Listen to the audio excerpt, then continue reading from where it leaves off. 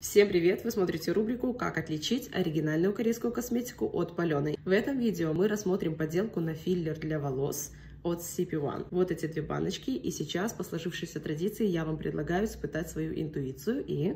Для начала самим попробовать угадать, где оригинал, а где подделка. Даю 3 секунды. 3, 2, 1. Это оригинал, а это подделка. Как ваши успехи, пишите в комментариях. Не держа в руках оригинал, вы не сможете понять, подделка перед вами или нет. Только слово «вот» отличает подделку от оригинала. У подделки этого слова нет. А так полностью Ctrl-C, Ctrl-V скопировали подчистую. Ну да, немножечко отличается цвет баночек и форма, но опять же вы этого не поймете. Ну и самая интересная часть – это распаковка. Будем скрывать каждый из филлеров, смешивать один к одному с водой и смотреть на то, как они будут себя вести. Первым я открываю оригинальный филлер. Так, сказала, что нужно один к одному с водой, но мне показалось, что я с ней таки и переборщила или нет, или мне это показалось. Ну да ладно. Тут я тщательно перемешиваю, довожу до однородной консистенции, более-менее густой. И вроде бы мне удалось это сделать. Да, видите, консистенция полностью однородная, никаких пузыриков, ничего нет. И достаточно густая.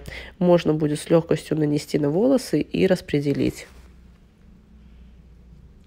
оригинальную массу в сторону, теперь скрываем паленый филлер.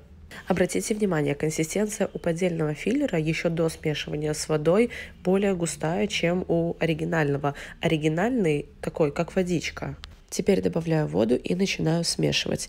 Реакция, кстати, пошла, но очень-очень медленно. По итогу мы получили неоднородную и недостаточно густую массу, как у оригинала. Обратите внимание, она не такая белая, она почти полупрозрачная и много каких-то непонятных пузырей. Вспомните, у оригинального филлера такого не было. В целом, подождите, можете не вспоминать, сейчас вам все покажу для сравнения два филлера. Ну вот, видите, реакция есть. Вроде бы похоже что-то на оригинал, но все равно это не то. Смотрите, какая однородная, густая, белая масса у оригинального филлера. Поближе покажу.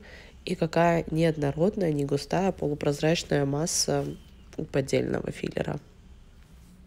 Спасибо большое за внимание. Надеюсь, это видео было для вас полезным. Не давайте себя обмануть. С большой любовью к вам, магазин корейской косметики Тики-Токи.